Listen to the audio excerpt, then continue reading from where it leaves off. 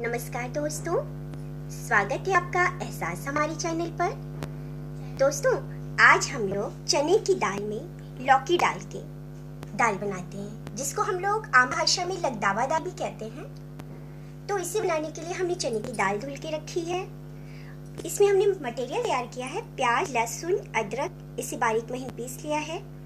इसमें हमने हींग हल्दी मिर्ची पिसी हुई, धनिया पिसी हुई, नमक मीट मसाला और गरम मसाला। और इसमें अपने अनुसार हम लोग हींग डाल सकते हैं। अगर हमें टेस्ट पसंद है हींग का तो डालिए, वरना आप इग्नोर कर सकते हैं। इसके तड़के के लिए तेज प्याज, महीन कटी हुई लहसुन और लौंग। और लौकी हमने काट के रख लिया, ये तैयार कर लिया है मोटे मोटे पीसेस में। कुकर चढ़ा दिया है। देखिए, हमारा तेल गर्म हो चुका है। इसमें हम तड़का, जो प्याज लहसुन का बनाया था, वो हम डाल देते हैं तेज पत्ता।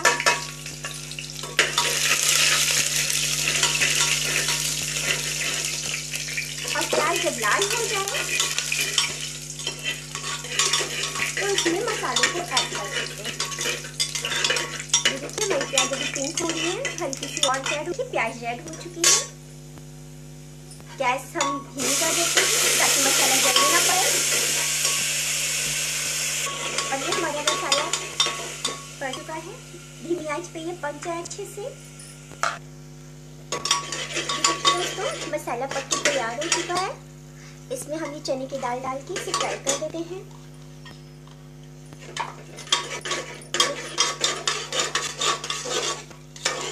इसमें हम लौकी डाल देते हैं।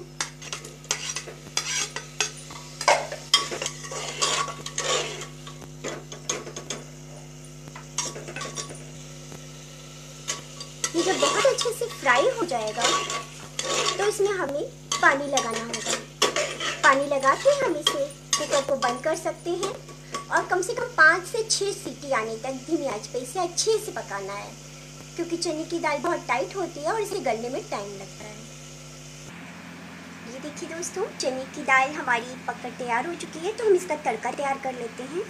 इसमें दोबारा तड़का इसलिए लगाते हैं कि इसका टेस्ट बहुत अच्छा आता है। सो इसलिए हमने प्याज लहसुन लिया है, इसकी बारीक काट लिए हैं पीसेस जीरा लिया है, लौंग लिया है और सूखी हुई लाल मिर्च ली है। ये देखिए, हमारा तेल आ देते हैं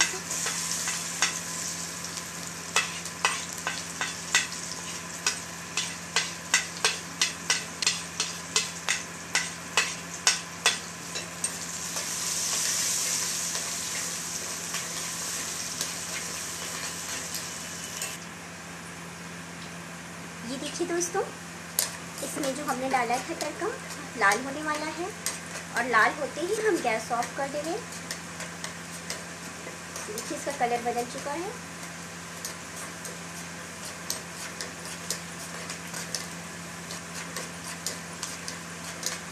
रेड हो गया है। बस, गैस ऑफ़ कर देते हैं। चने की दाल बनाते समय हमें ये भी होता है कि ध्यान रखना पड़ता है कि आपको क्या पसंद है। कुछ लोग चने की दाल में खटाई डालते हैं। कुछ लोगों को खटाई नहीं पसंद होती तो वो अवॉइड भी कर सकते हैं। सो हमारी दाल ये तैयार है और इसमें हम तड़का ऐसे मिक्स कर देते हैं।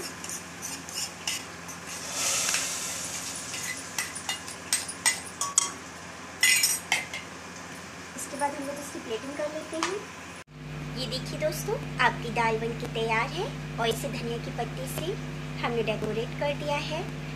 आप इसे रोटी, चावल जिसके साथ भी पसंद करते हैं, उसके साथ खा सकते हैं। सो दोस्तों, अगर आपको ये चैनल पसंद आता है तो आगे के वीडियोस देखने के लिए आप इस चैनल को लाइक कर सकते हैं सब्सक्राइब कर सकते हैं शेयर कर सकते हैं। और दोस्तों फेसबुक पे हमारा पेज है, एहसास हमारे। आप वहाँ भी इसे लाइक कर सकते हैं। थैंक यू दोस्तों